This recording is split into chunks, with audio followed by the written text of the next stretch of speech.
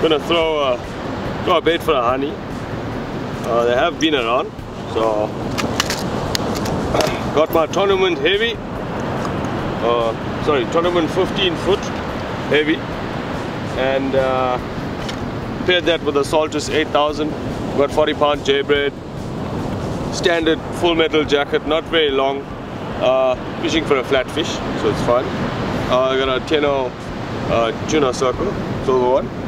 And then uh, I think we're gonna put in a nice big red eye bomb with some chokka on the side and then try and try and get it close to that bank at the back. Uh, hopefully we get onto one of these flatfish. There has been a few diamonds around as well, so we'll just give it a bash. If the shad are gonna trouble on that bait, then uh, maybe next bait will be a, a bonny head, uh, trim it down and try and get it over the back there. Alright, so we'll, we'll make that bait now. Nice fresh red eye from uh, Adcan Marine.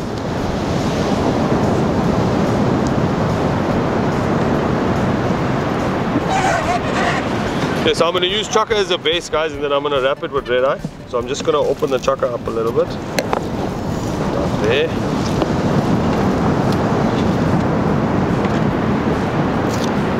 Take off that backbone. See this was a nice big chokka. So nice and fleshy.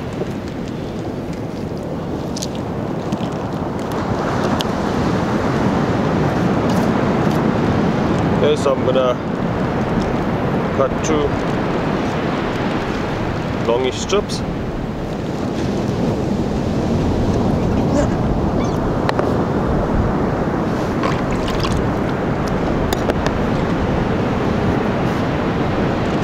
Two strips.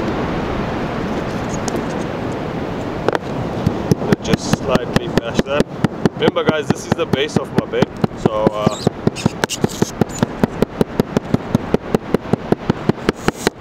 if there's peckers, I'll still have that left behind. And then what I'm gonna do is put that tentacles that way. So what happens is you're gonna have, when you cast, you're gonna have a more aerodynamic bait, and when it lands, well I'll show you a bit later how the bait's gonna look. Just cotton it on, cotton it on nice and tight guys, so that's your base for your bait.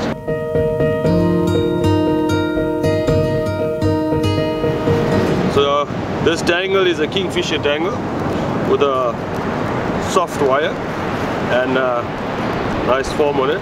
So also keeps gives you a bit little bit more movement. Okay, so I got my base on. Gonna just measure up here quickly. Perfect. A piece of that. Gonna use this just now.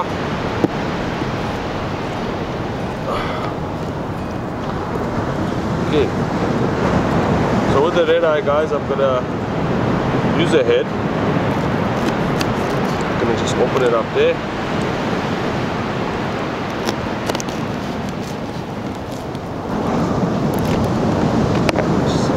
How's it? Red eye with a hook. Hooking it. yeah, how's it? Must be a mustard. Must be. So guys, I'm gonna place that at the bottom and then I'm gonna cover it with cutlets. So let's just trim that down a bit. A bit too long. Trim the nose.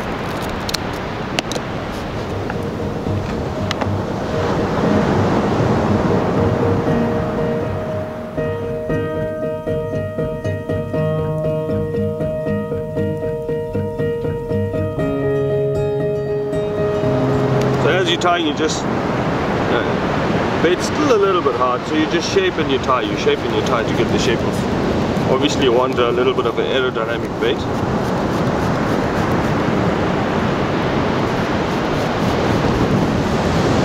You want to try and hide that belly. Obviously, if there's peckers around, uh, they're going to jump on that quickly. And then, guys, very simply, just cutlets. So my bait's a little bit long, so I'm going to have longer cutlets.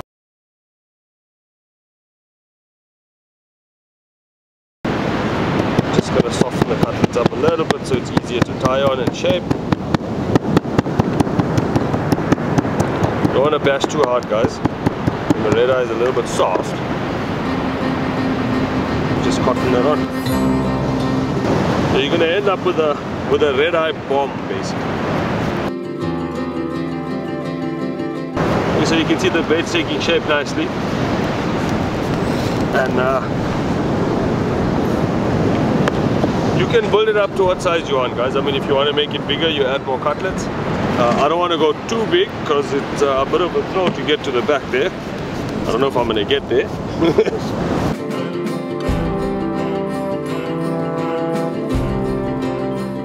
and then that little piece of chocolate that I've cut off before, I'm going to bash that down. Cut that in half.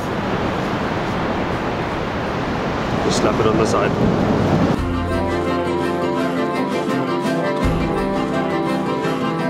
So guys, if there's a cobia, Kingy will eat this, a honey will definitely eat it, a diamond will eat it, a sandy will eat it. So, there we go. Nice bait. So red eye bomb, some movement. There's a little chocolate base there.